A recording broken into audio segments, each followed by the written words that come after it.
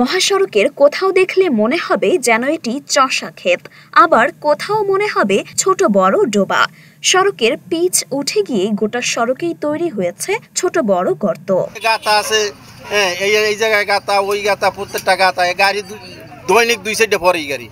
আমার স্কুলের গাড়ি ছাত্র নিয়ে একদিন ষোলো সতেরো জন ছাত্র নিয়ে পড়ে গেছে এই যে একান না আস্তা ইডা থাকে আর একখান ঠালা থাকে পানির ভিতরে তো দেখা যায় না পানি জমিয়ে থাকলে তো আর দেখা যায় না। মহিপুর ব্রিজ পর্যন্ত অবস্থা খুবই খারাপ।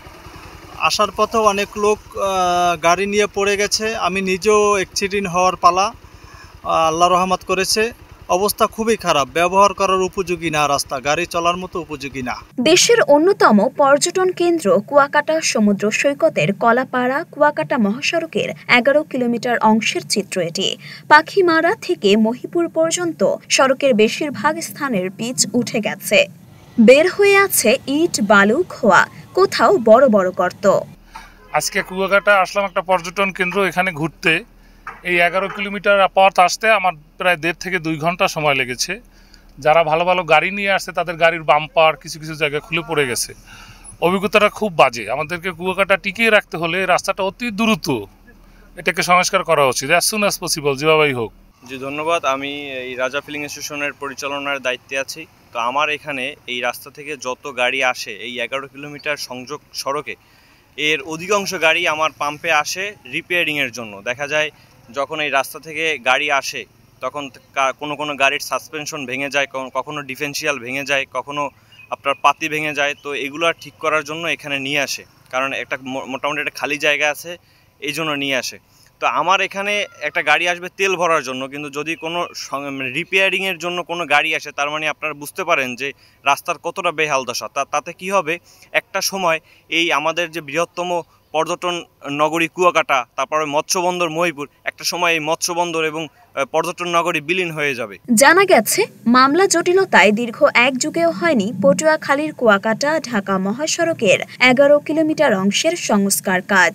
দু হাজার নয় থেকে দু হাজার চোদ্দ অর্থ বছরে কলাপাড়া উপজেলার পাখিমারা বাজার থেকে আলিপুর মৎস্য বন্দরের শেখ রাসেল সেতু পর্যন্ত সাড়ে এগারো কিলোমিটার অংশের উন্নয়ন কাজ বাস্তবায়ন করে খুলনার দি রূপসা ইঞ্জিনিয়ার্স লিমিটেড নামে একটি ঠিকাদারি প্রতিষ্ঠান।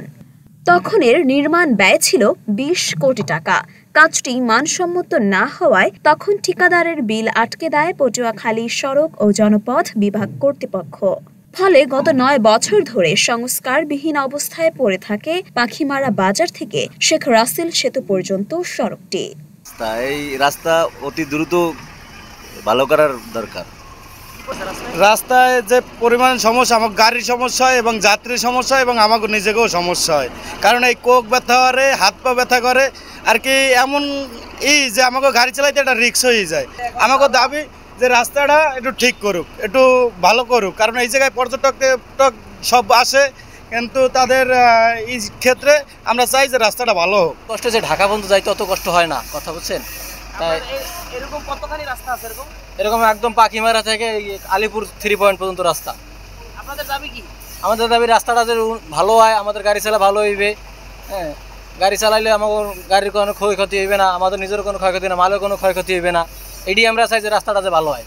পটুয়াখালী সৌজ বিভাগের নির্বাহী প্রকৌশলী জানান, আদালতের আদেশে ওই রাস্তায় বড় ধরনের সংস্কার কাজ করা যায়নি। তবে উচ্চ আদালত নিষেধাজ্ঞা প্রত্যাহার করেছেন। সড়কের নির্মাণ কাজের জন্য আর কোনো বাধা নেই। সামান্য বৃষ্টিতেই কাদা পানিতে একাকার হয়ে যাচ্ছে সড়কটি। এ সড়ক দিয়ে চলাচল করতে গিয়ে প্রায়ই ঘটছে ছোট বড় দুর্ঘটনা। তাই দ্রুত সড়কটি সংস্কারের দাবি জানিয়েছে পর্যটক সহ স্থানীয়রা। মরিয়ম মিম, ঢাকা পোস্ট।